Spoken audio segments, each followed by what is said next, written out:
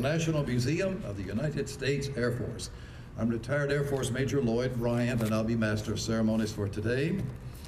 Today, we officially open the newly redesigned and expanded Tuskegee Airmen exhibit, which tells the story of airmen who served with distinction in combat and contributed to the eventual integration of the U.S. Armed Forces, with the Air Force leading the way.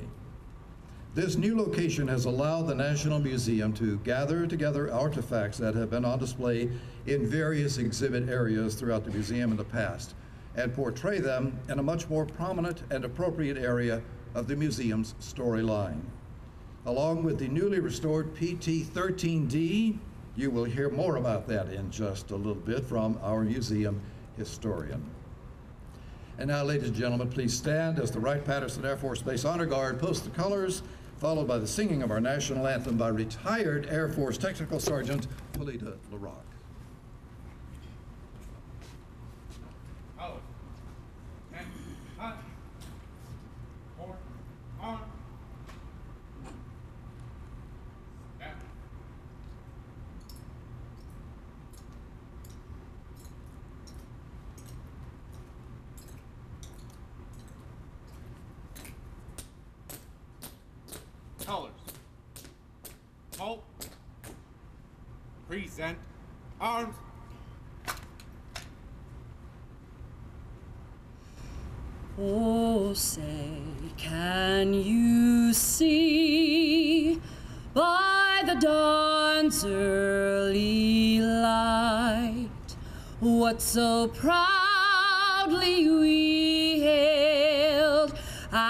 Twilight's last gleaming, whose broad stripes and bright stars through the perilous fight o'er the ramparts we watched were so gallantly streaming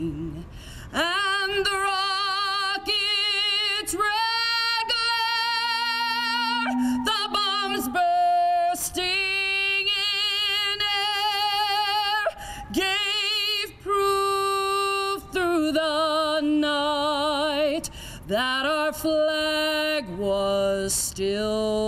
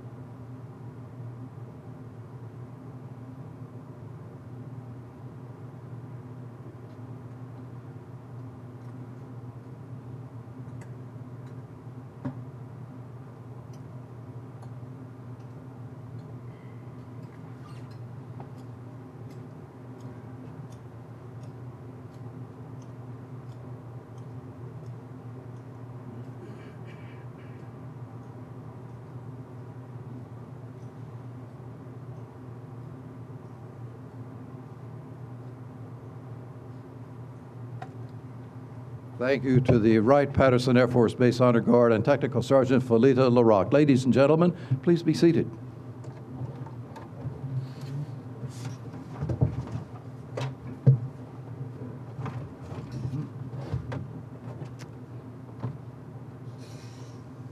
I'd like to begin by introducing our featured speakers. They're seated just here on your right. First, the director of the National Museum of the United States Air Force, Lieutenant General retired Jack Hudson, and he's joined by his wife, Marcia. General Hudson and Mrs. Mrs. Hudson.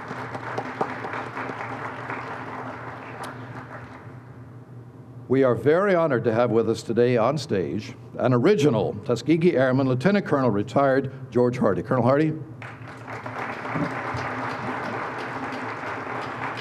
Colonel Hardy boasts quite a career, having been a pilot of the P 51 Mustang in World War II over Germany, the B 29 Super Fortress in the Korean War, and the AC 119 Stinger during the Vietnam War. Colonel Hardy, thank you for being here today. The Chief of Organizational Histories at the Air Force Historical Research Agency at Maxwell Air Force Base, Alabama, a distinguished author and researcher, Dr. Daniel Haulman. Dr. Haulman. And the National Museum of the United States Air Force historian and the curator of the Tuskegee Airmen exhibit, Dr. Jeff Underwood. Dr. Underwood. We have many distinguished guests with us today from the community, the military, and industry. And as I introduce some of our guests in the audience, please know that we are truly appreciative of all of you who have come out today to help us celebrate the opening of this exhibit. I'd like to start with our most honored guests and the subjects of our exhibit. Our Tuskegee Airmen, we're very honored to have with us Tuskegee Airman Donald Elder. They're right on the front row here. Charles Feaster. Charles Feaster and his wife May.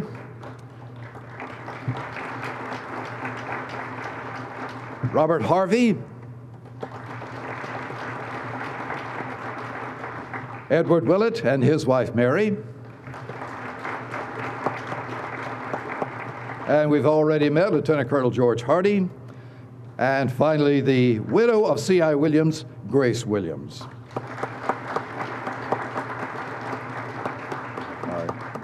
Thank you all for being here today. Now, I would like to recognize a number of other people in the audience, and there's a fairly large number, so if we hold our applause till the end, that will be good. Let me begin with the Air Force Life Cycle Management Center Commander, Lieutenant General John Thompson. From the Air Force Materiel Command, the Vice Commander, Major General Brent Baker and his wife, Rob Lee. The Commander of the 88th Air Base Wing, Colonel John Devillier.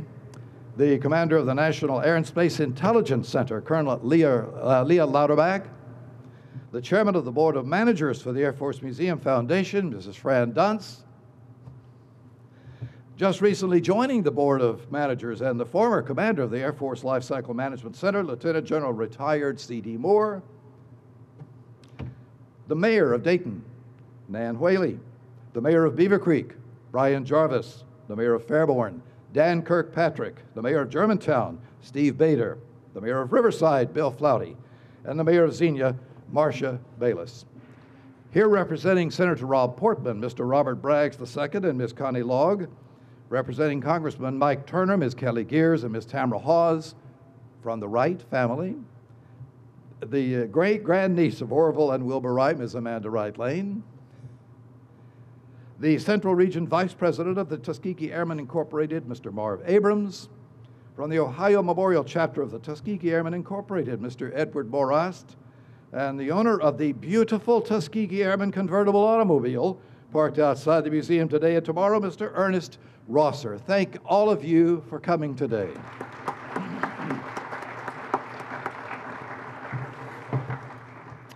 And now, ladies and gentlemen, please welcome to the podium our keynote speaker, Dr. Daniel Haulman.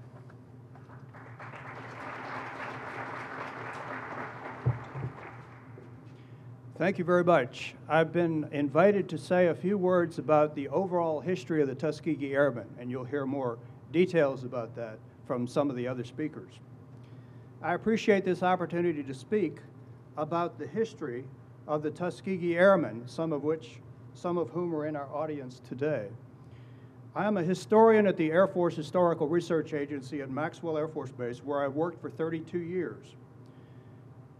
The Air Force Historical Research Agency is one of the most important repositories of primary sources of Tuskegee Airmen history including the histories of the groups and squadrons to which they belonged, their daily combat mission reports, and orders that awarded them such honors as Distinguished Flying Crosses, Air Medals, and Aerial Victory Credits.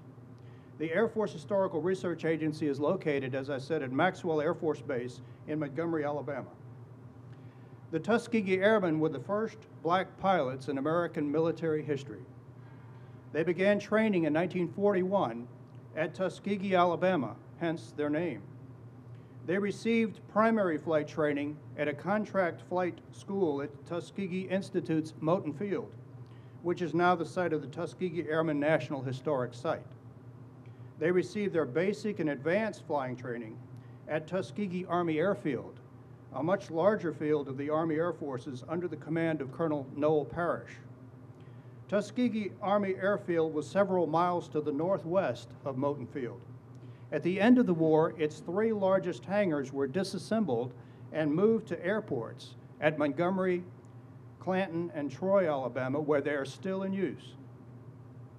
992 black pilots graduated from flight training at Tuskegee Army Airfield, including 930 future fighter and bomber pilots, 51 liaison pilots, and 11 service pilots. When flight training ended at Tuskegee in 1946, at least 10 other African American military pilots trained at other airfields and were assigned to Tuskegee Airmen units before the integration of the Air Force in 1949. If you also count them, there were more than a thousand Tuskegee Airmen pilots. Not all the Tuskegee Airmen were pilots. For every pilot, there were more than 14 on the ground who were not pilots.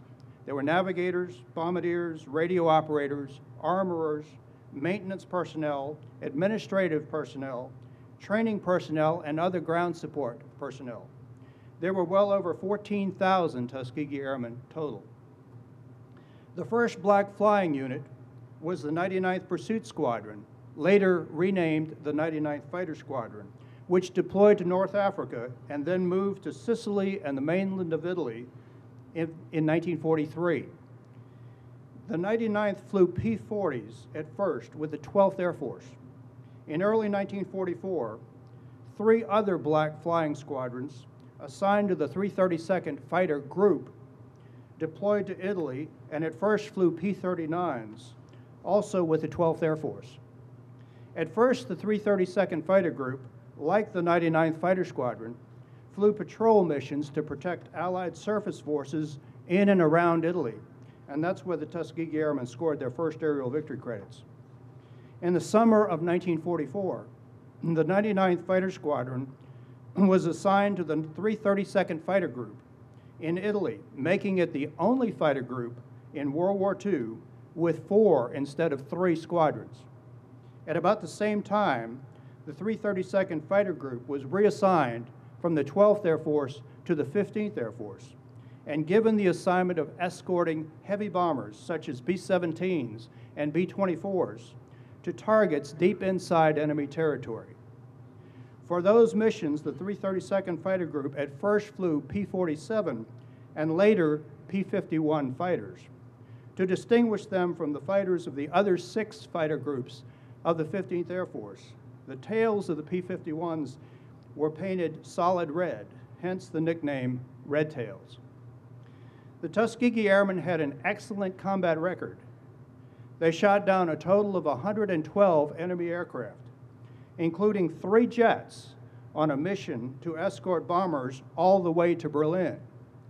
For that mission, the 332nd Fighter Group earned a Distinguished Unit Citation. They flew 312 combat missions with the 15th Air Force between early June 1944 and the end of April of 1945. And 179 of those missions were bomber escort missions. Bombers escorted by the Tuskegee Airmen were shot down on only seven of those 179 bomber escort missions. A total of 27 bombers under Tuskegee Airmen escort were shot down by enemy aircraft, but the average number of escorted bombers lost by the other fighter groups in the 15th Air Force was 46. The Tuskegee Airmen lost significantly fewer bombers than the other fighter groups.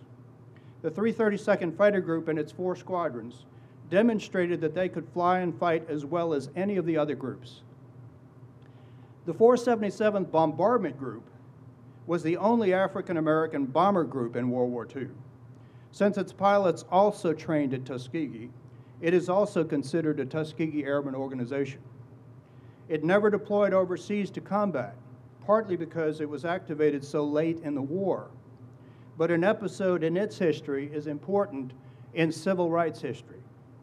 In April of 1945, 120 of its officers were arrested for refusing to recognize racially segregated officers' clubs at Freeman Field, Indiana. The incident became known as the Freeman Field Mutiny. Eventually, all of the arrested Tuskegee Airmen were exonerated, but only after decades. The most famous Tuskegee Airman of all was Benjamin O. Davis, Jr., a graduate of the U.S. Military Academy at West Point.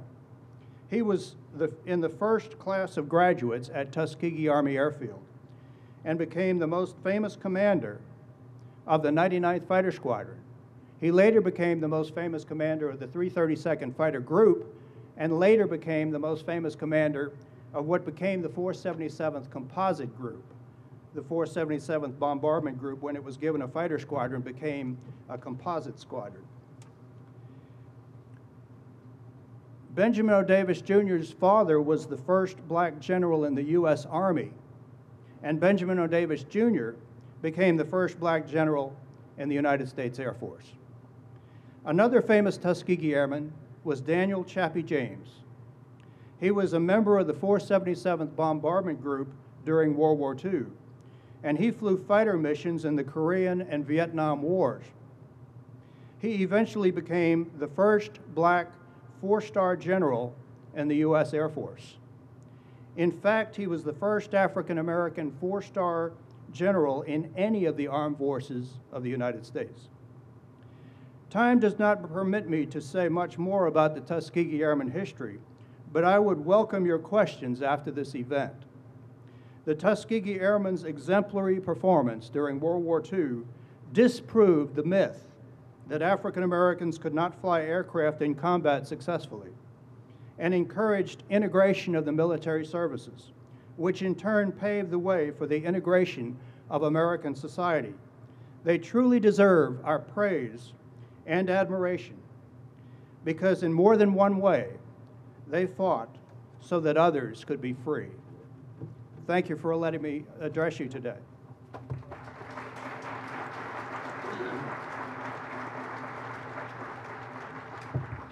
Thank you, Dr. Haulman. Ladies and gentlemen, our next speaker is our own museum historian, Dr. Jeff Underwood.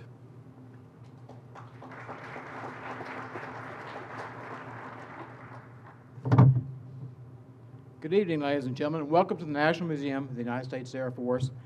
Thank you for coming out and help us celebrate Black History Month through commemorating the Tuskegee Airmen with this new exhibit. This, orig- this exhibit originally was at the museum in the 1970s. But I want to take just a moment to point out a lady who's here, Vivian White. Without her outstanding efforts, right over here, this exhibit would not be here. In the 1970s, she is the lady who went out and started collecting the photographs and the documents, the artifacts that end up becoming this exhibit. So, it's been.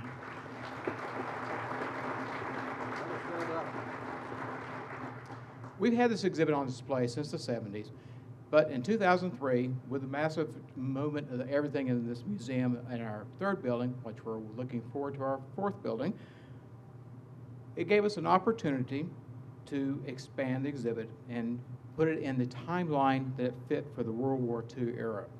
So, while we made it correct, and my colleague who actually wrote the initial second exhibit, he's currently serving in Southwest Asia as a reservist. So I'm going to give him, Dr. Doug Lantry, I want to give him a shout out because he did nice work.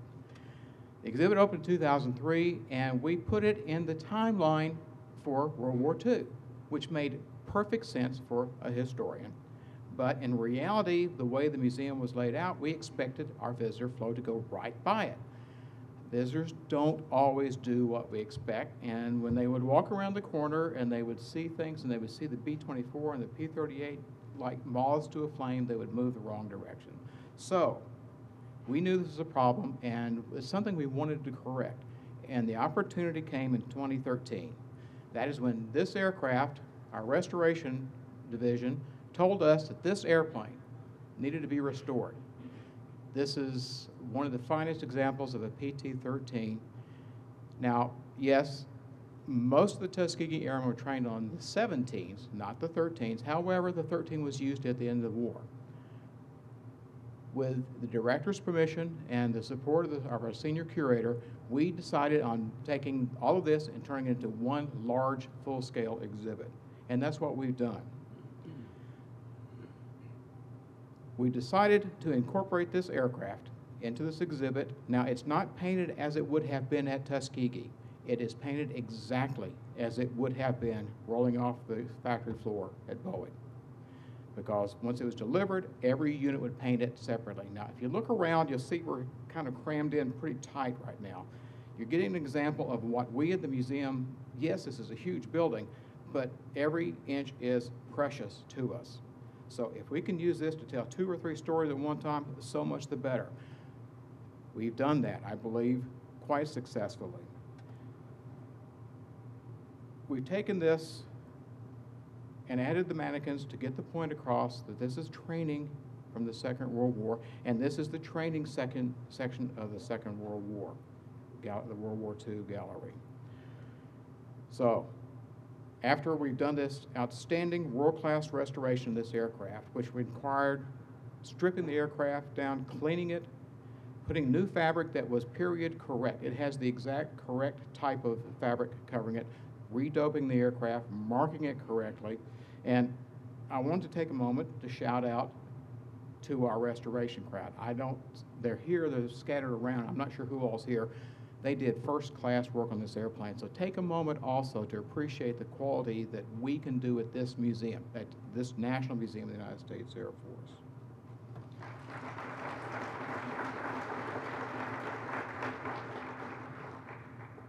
So, you see the aircraft as it would have been painted, leaving the factory, would have showed up Tuskegee and been painted correctly, or wherever else it would have gone. It even, I'm sorry to say, has the Navy Bureau number and the Army Air Force's serial number. The Army people would immediately paint it out. That would probably been the first thing they've done, but it is on the aircraft to be historically correct. And the second thing we had to do, once we decided to do this aircraft, was we had to make room. It was originally hanging. And as you can see, it takes up a large footprint. So we had to move the aircraft around, decide where things were going to go, move some of the other exhibits. This is a massive undertaking for our staff, and this is a long-term process that works pretty well. We've gotten very, very good at doing this. So I was tasked to revitalize this exhibit, and with the help of Dr. Haulman, who helped me and gave me information and kind of did quality check on my work just to make sure. Never hurts to have a second pair of eyes outside the organization look at it. Put the text together. We collected artifacts that were on display at other places that they fit into the story of the time, but I think it makes a much greater story to put them together. The impact is greater by having all the Tuskegee story in one place so everyone can see it at one time as they come through the museum.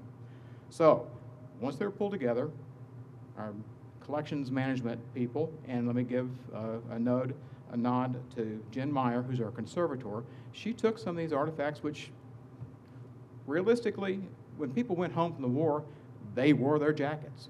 They took their stuff home and they used it until they actually donated it to the museum. And some of it, I must admit, looked pretty rough, but with her really expert efforts, we brought these artifacts back to life. And so, yes, they look like they're old, but then that is why people come to museums is to see old stuff, not shiny brand new things. So she did a nice job with that. And then our exhibits division, are you getting the point that this is a team effort?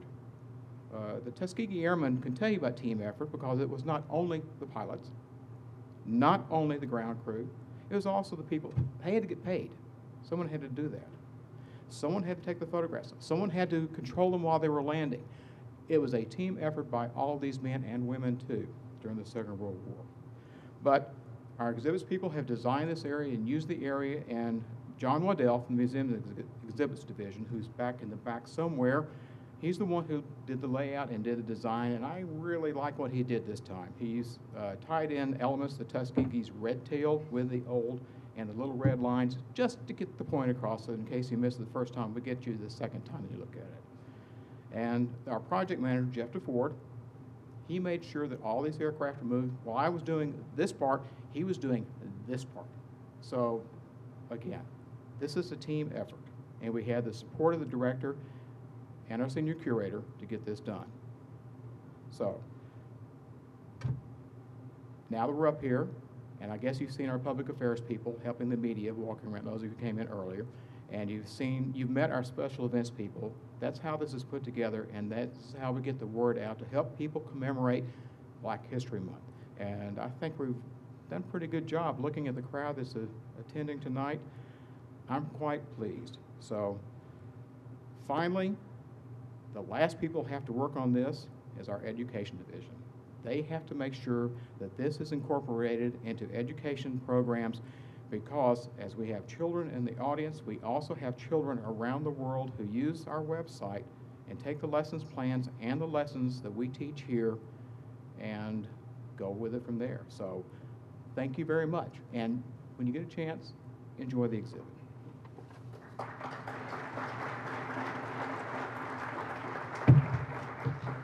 Thank you, Dr. Underwood. Now, ladies and gentlemen, please welcome our next speaker, Tuskegee Airman, retired Lieutenant Colonel George Hardy. Colonel Hardy.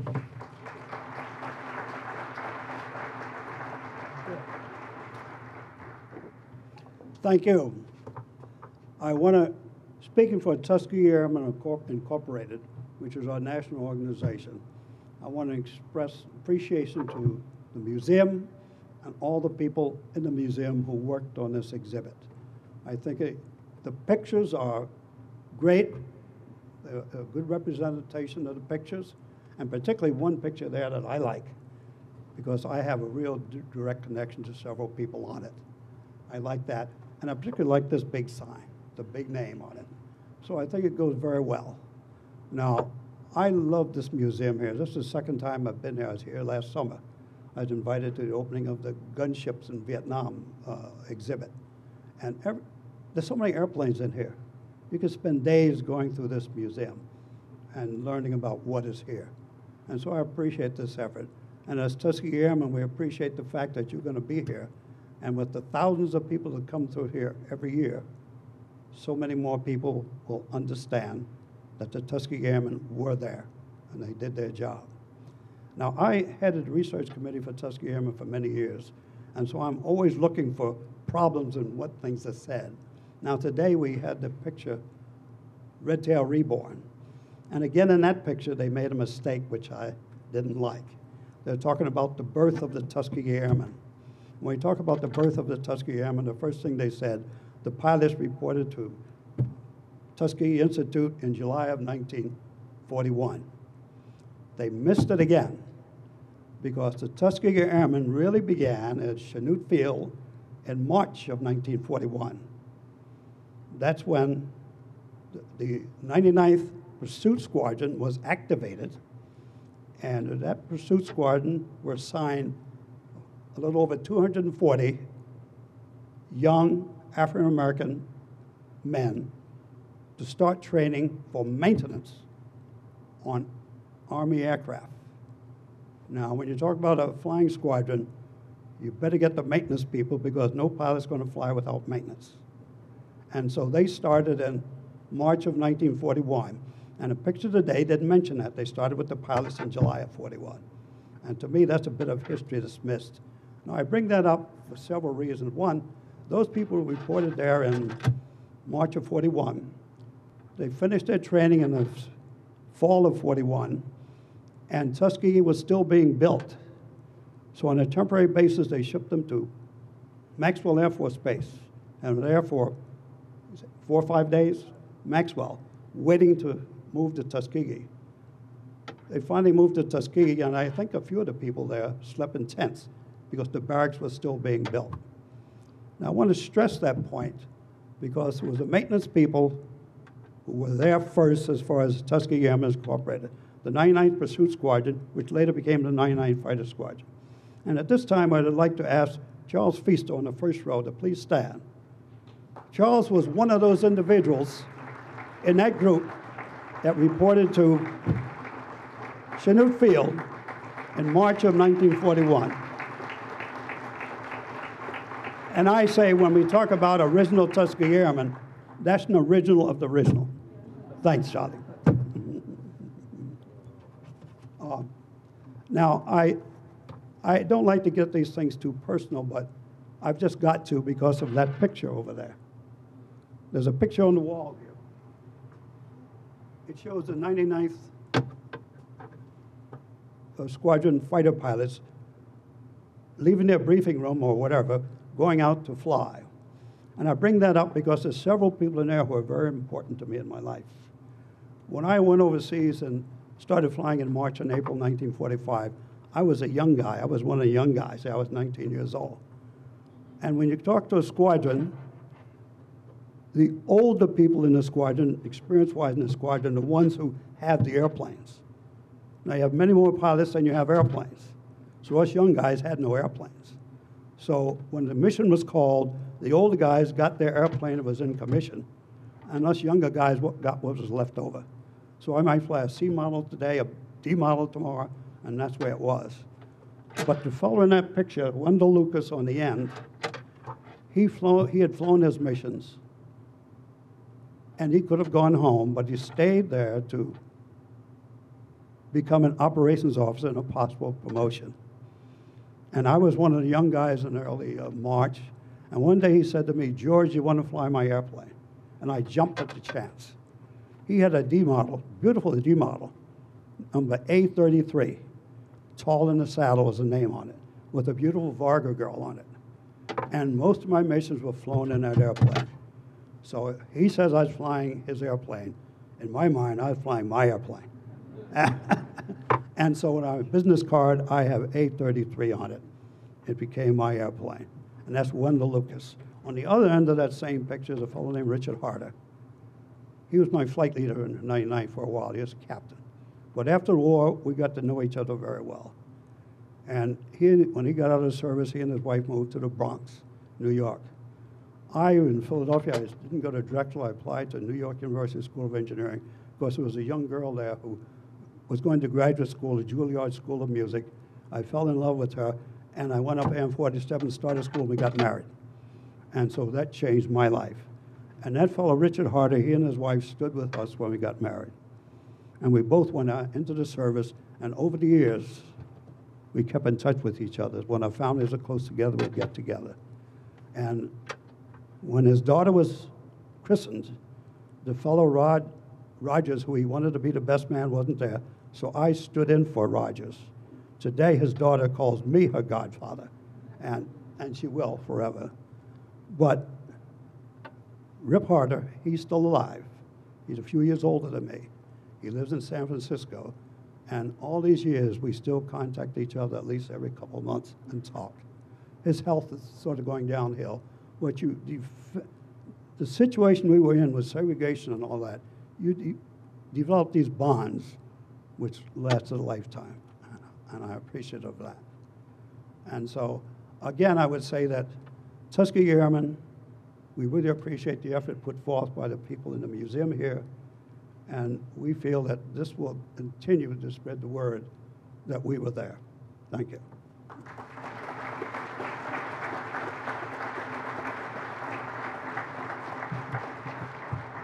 Thank you, Colonel Hardy. And ladies and gentlemen, now I'd like to invite to the microphone the man who is in charge of all of this marvelous stuff, General Jack Hudson.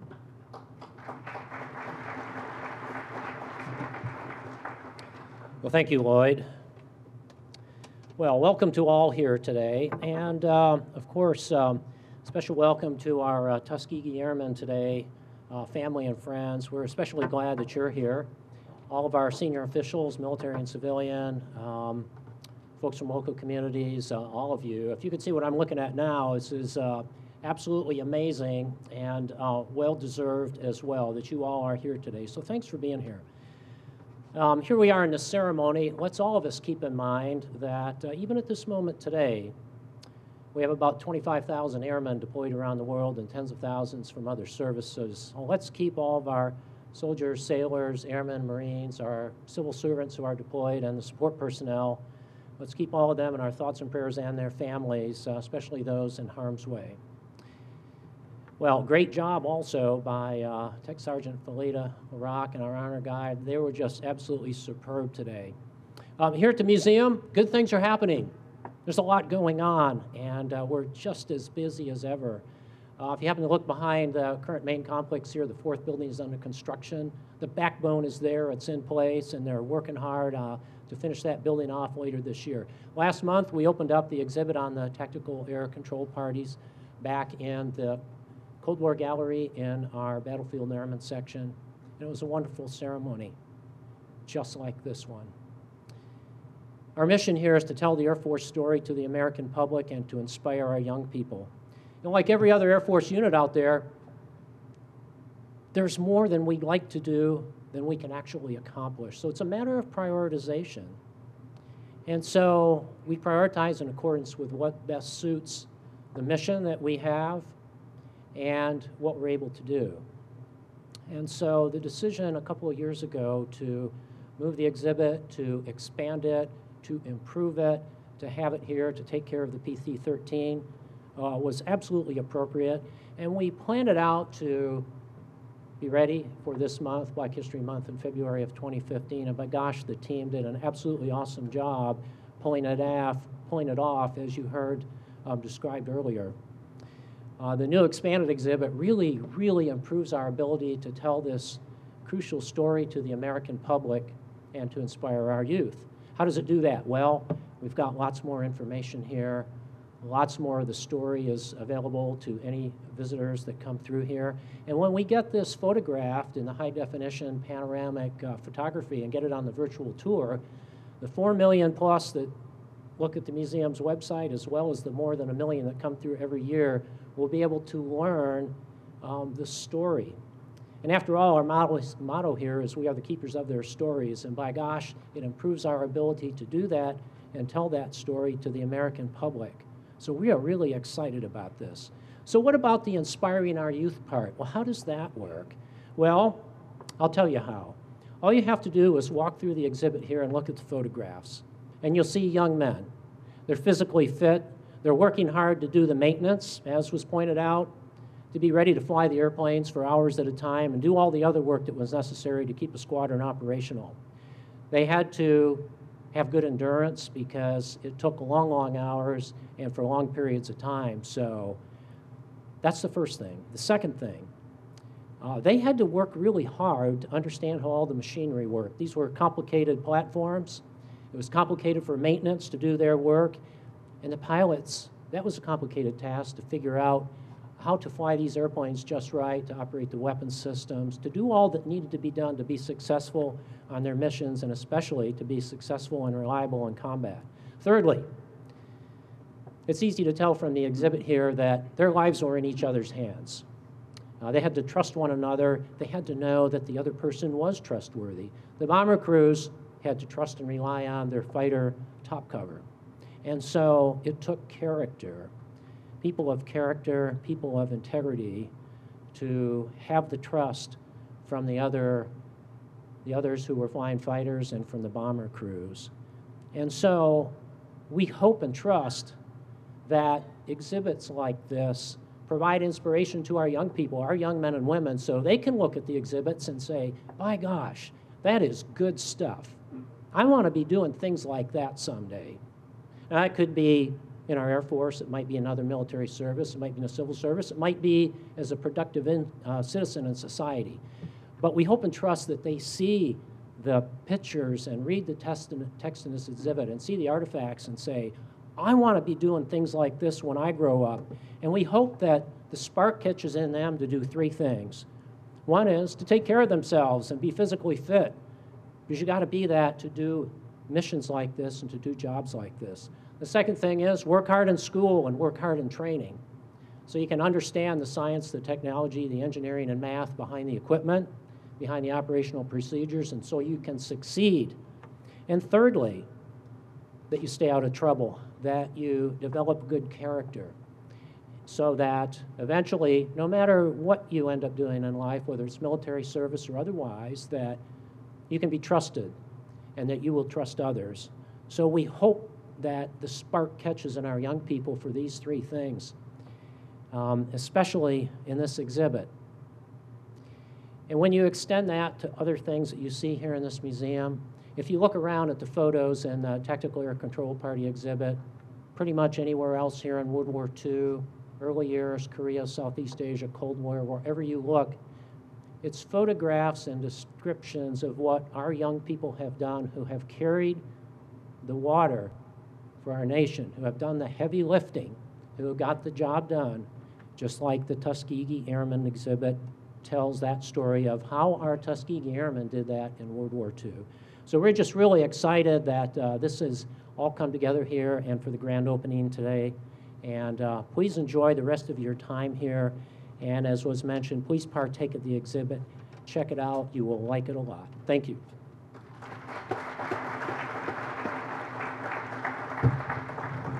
Thank you, General Hudson. And now, ladies and gentlemen, this concludes the formal portion of today's program.